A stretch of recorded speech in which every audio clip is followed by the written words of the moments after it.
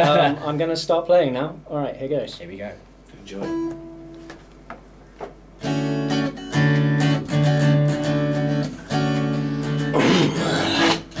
this my mermaid jam right here. Oh yeah.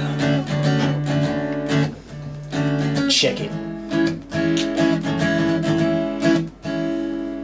20,000 leagues under the sea, something is smelling somewhat fishy down here.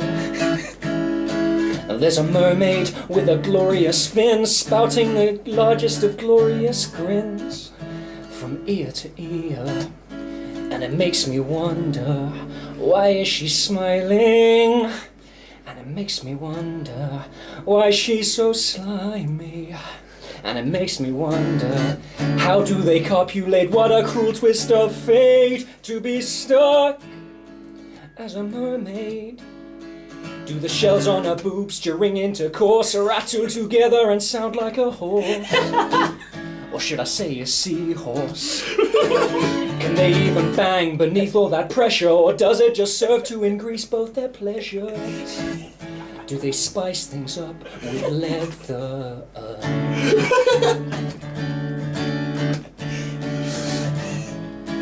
Second verse.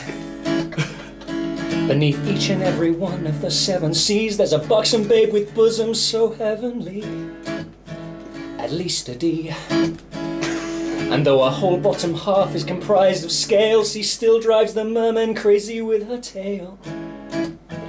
What a hussy. And it makes me wonder, where does it go? And it makes me wonder, does she ever flow? And it makes me wonder, do they even menstruate? What a cruel twist of fate to be stuck as a mermaid. Do the shells on her boobs during intercourse rattle together and sound like a horse? Should I say a seahorse? Can they even bang beneath all of that pressure, or does it just serve to increase both their pleasures? Does your G spot like the G force? Does your G spot like the G force?